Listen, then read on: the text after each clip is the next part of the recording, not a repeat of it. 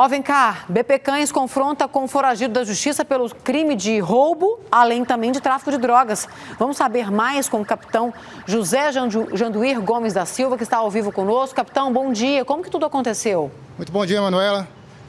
A equipe foi acionada para dar um apoio ao indivíduo que evadiu de uma equipe de trânsito na região do bairro, bairro Goiás.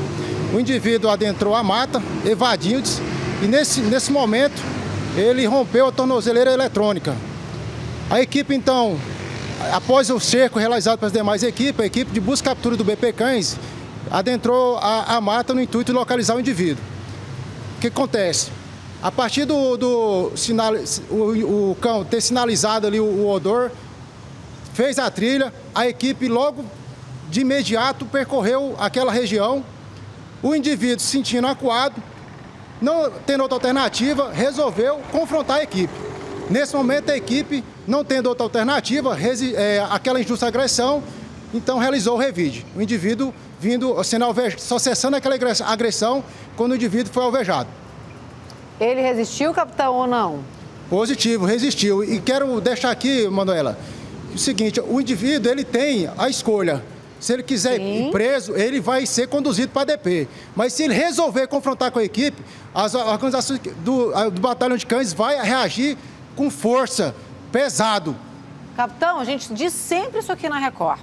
O indivíduo reage e entra em confronto com a polícia. Ele está ali para matar ou para morrer, não é, capitão? Em qualquer crime que ele está cometendo, ele está ali para isso. Aí ele vai entrar em confronto com a polícia, a polícia não vai receber com beijo e abraço, não, gente. Tem que partir para cima. E se for para levar a pior nessa, que seja o bandido sempre, tá? A polícia vai revidar, vai partir para cima. E outra coisa que eu digo sempre aqui, o, capitão, a gente não tem que passar a mão em bandido, não. Bandido para mim na cadeia tinha que plantar para poder comer, tinha que fazer o lençol para poder dormir com a colchinha cobertinha, tinha que produzir o, lençol, o, o, o travesseiro, o colchão dele, tinha que confeccionar a própria roupa. Não tinha nada disso de ficar recebendo conforto dentro da cadeia, não.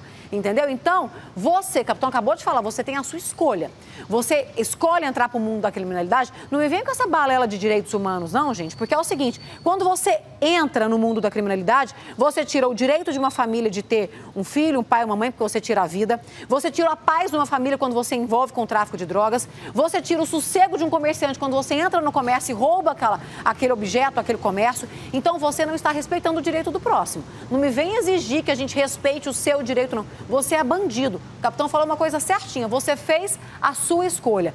Capitão, o animal que ajudou lá nas buscas foi esse aí que está do seu lado? Positivo. Foi o xerife, conduzido pelo sargento Ribeiro.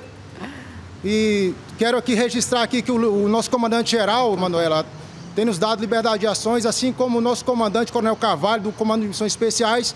E diuturnamente estamos é, realizando atividade de treinamento para pronto emprego em diversas situações. O Batalhão de Cães hoje apoia as unidades da polícia em todos os rincões do Estado. Estamos em condições para ser empregado em diversas situações, além da missão principal do Batalhão de Cães. Parabéns aí pela atuação dele e, claro, a todos vocês pelo trabalho. A gente tem que enaltecer isso aqui e agradecer a todos os dias, vocês todos, policiais que saem de casa e colocam a vida em risco para proteger a população. Obrigada, capitão. Bom trabalho para vocês. Obrigado, estamos à disposição.